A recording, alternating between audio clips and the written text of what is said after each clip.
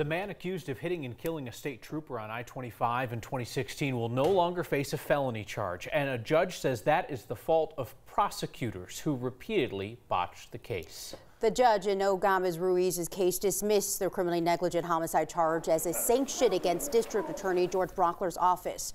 Our Ryan Haarer explains this rare punishment for prosecutors. Kyle, Kristen, this order is the result of a second mistrial in the case. The judge felt there was a pattern of discovery violations that the district attorney's office was not properly disclosing important details of the crash, details the defense needs to properly fight in court. The crash happened November 25, 2016. Noe Gamez-Ruiz is accused of not moving his truck over for Trooper Cody Donahue working on the side of the road.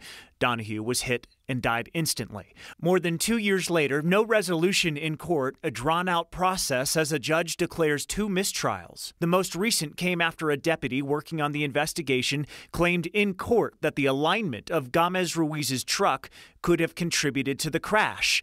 That was news to Gamez-Ruiz's attorney, Harvey Steinberg, who argued to have the case dismissed completely. My argument was that if, as a result of gross negligence by the district attorney, it causes a mistrial, then it's not fair to the defendant to have to stand trial a second or a third time. 9 News legal analyst Scott Robinson says there won't be another felony charge, but the defense didn't get everything they wanted. What the defense really wanted was dismissal based on double jeopardy. But you don't get that unless you can show the prosecution intended to force a mistrial by misconduct.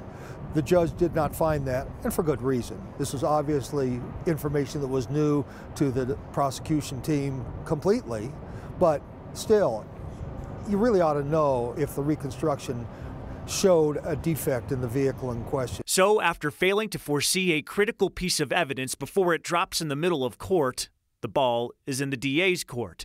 Will they bring Gamez-Ruiz back to trial for a third time? Steinberg points out the mistrials at the hands of the prosecution is costing his client big bucks. It doesn't cost the DA anything because they have taxpayer funds, which apparently are unlimited to them. So, Gamez-Ruiz will not spend any time in prison for a felony. He still could face those two misdemeanor traffic offenses, misdemeanors that carry maximum sentences of a year in jail plus a fine. Finally, Kyle, we reached out to District Attorney George Brauchler tonight. Haven't heard from him. And then we have the Donahue family in all this, the trooper's widow and his two young girls.